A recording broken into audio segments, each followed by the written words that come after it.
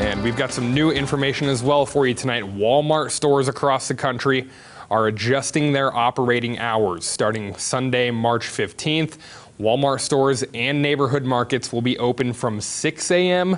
to 11 p.m. It's 6 a.m. to 11 p.m. for the neighborhood markets. The company says these new hours will allow them more time to restock and sanitize the store. Walmart stores that already close earlier or open later will maintain those hours. I know there's a couple of those who already run those hours in Springfield now.